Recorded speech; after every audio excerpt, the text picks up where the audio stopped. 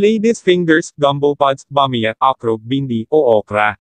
Alin man ang tawag mo sa gulay na ito dapat mong malaman ang higit pa kung bakit sulit na kumain ng gulay na ito. Medyo karaniwan ito sa mga bansang Asya pati na rin sa Afrika at Timog Amerika. Kinahain ito na pinirito, inihaw at pinakuluan. Ito ay malapot kapag kinain kapag pinakuluan o halo-halong may sopas na ginagawang mas makapal ang bawat solong pinggan habang malutong ang pagkakaluto kapag pinirito kaysa ng natatanging lasa nito. Ito siksik sa mga bitamina at mineral na binawasan ng labis na calorie at fat. Ang pod na ito ay palaging nakalista sa mga super veggies. Kaya siguraduhin isasama mo ito sa iyong dieta. Ang isang kalahating tasa na naghahatid ng nag-iisa ay maaaring magbigay sa iyo ng higit sa may isip mo. Upang mabigyan ka ng isang mas konkretong patunay. Narito ang nangungunang sampung mga benepisyo ng pagkain ng okra. Isa, kinokontrol ng okra ang iyong mga antas ng cholesterol. Ang okra ay binubuo pangunahin sa dietary fiber. Sa katunayan kalahati ng isang tasa ay magbibigay sa iyo ng 2 gramo ng dietary fiber. Ang fiber ay binubuo ng dalawang bahagi, ang hindi natutunaw na fiber, na kung saan ay ang sangkap na kinakain. At ang natutunaw na hiblat na bahagi ng malapot na sangkap na mayroon ng okra. Ang natutunaw na fiber ay ginagampanan ang pinakamahalagang papel sa pagbaba ng antas ng cholesterol. Nagbubuklod ito ng labis na mga molekula ng taba at inaalis ang mga ito mula sa iyong system. Dalawa, ang okra ay anti-diabetic. Ang diabetes ay isang pangunahing problema sa populasyon ng mundo. Ito ay isa sa mga nangungunang sakit na nakamamatay sa buong mundo. Ang paggamot ng kurso ay hindi posible dahil sa sandaling makuha mo ito sa iyong system, hindi mo ito makakalabas. Kaya't maaari ding gumawa ng isang mahusay na trabaho sa pagprotekta sa iyong sarili laban dito sa pamamagitan ng pagkain ng tamang dami ng carbs at gulay tulad ng okra upang mapanatili ang antas ng asukal sa dugo. Ang pandaigdigang pamayanan ng medikal ay nagsasaliksik tungkol sa potensyal ng okra upang maging isang anti-diabetic na pagkain at ang katibayan sa pagangkin na ito ay nabuo sa mga nakaraang taon. Inaakalang ang hindi matutunaw na hibla ng halaman na ito ay sanhi ng pagbagal ng pagsipsip ng asukal sa bituka.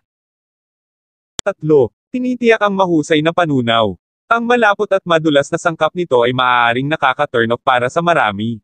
Ngunit alam mo bang ang lahat ng mga sangkap na ito ay nakakatulong sa isang mahusay na pantunaw sa pamamagitan ng pagtulong na mapabuti ang peristalsis movement. Maliban sa sangkap na ito, ang mayamang nilalaman ng dietary fiber ay nag-aambag din sa kalusugan ng bituka sa pamamagitan ng pagkilos bilang mga sweepers ng bituka upang mapanatili ang isang mahusay na paggalaw ng bituka. 4. Pinipigilan ng kanser. Mataas na fiber, mataas na antioxidant at mataas na mga bitamina at mineral. Hindi na kailangang sabihin na ang okra ay makakatulong sa sinumang tao na layuan ng cancer basta ihatid at lutuin ng maayos. Ang cancer ay isa sa mga nangungunang sanhi ng pagkamatay sa buong mundo kasama ang lung cancer at colon cancer bilang ang pinakakaraniwang nangyayari sa lahat ng mga uri ng cancer.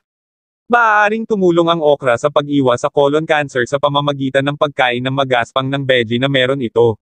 Ang lung cancer at ang iba pang mga uri ay maiiwasan sa pamamagitan ng antioxidant na naglalaman sa gulay na ito. 5. Mayaman sa folate. Kung nagpaplano kang mabuntis, tiyaking kakain lagi ng gulay na ito dahil naglalaman ito ng isang mahusay na dosis ng folate, isang mahalagang vitamina B na pumipigil sa neural tube defect. Kinakailangan ng folate sa panahon ng mabilis na mga paghati sa cell na karaniwang nangyayari sa paglilihi.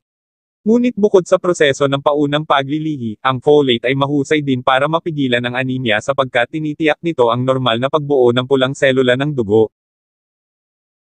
6. Vitamina K. Kung ikaw ay nakatoon patungo sa pagprotekta ng iyong puso, pinipigilan ang cancer, osteoporosis at dementia. Kung gayon ang okra ay ang gulay para sa iyo. Bukod sa mga kakayahang ito, ang vitamin K ay matatagpuan din na mahalaga sa pamumuo ng dugo at pagpapabuti ng pagkasensitibo ng insulin. Ang vitamina K ay matatagpuan sa mga produktong suplemento na ginawa ng komersyo, ngunit kakailanganin mo lamang ng kaunting halaga nito.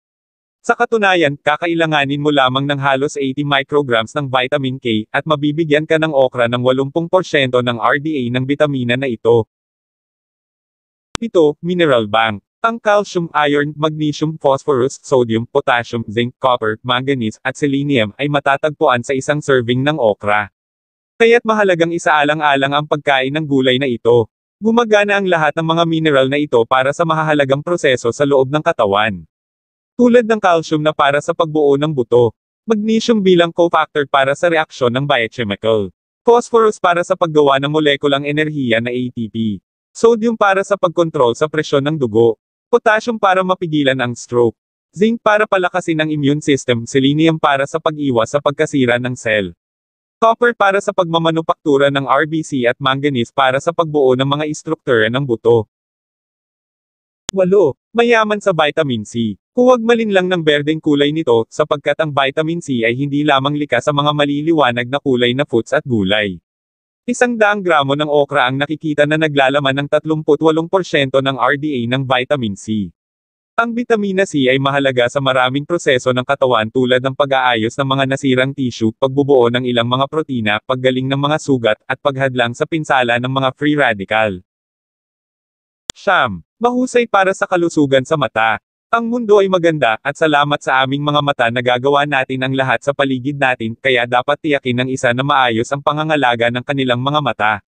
Ang pagkain ng pagkaing mayaman sa vitamin A at lutein ay ang pinakatanyag na paraan ng pag-iipon ng mahahalagang sangkap para sa pagpapabuti ng kalusugan sa mata, kaya para sa lahat ng mga taong naghahanap ng iba pang mga potensyal na mapagkukunan ng pagkain na pangkalusugan sa mata, kumuha ng serving ng okra upang makakuha ng bahagi sa lahat ng ito na kinakailangang mga bitamina sa mata.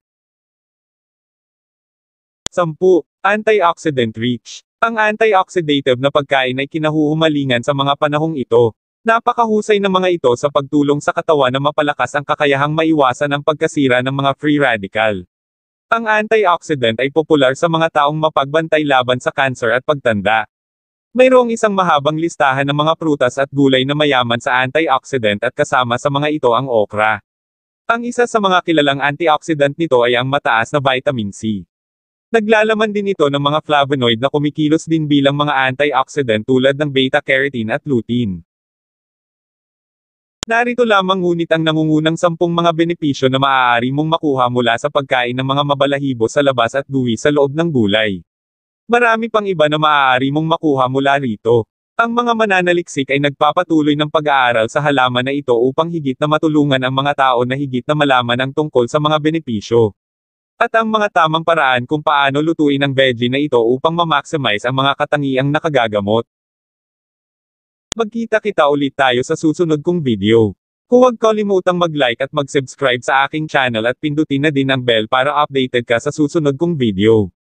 Salamat sa iyong pakikikinig. Hanggang sa muli.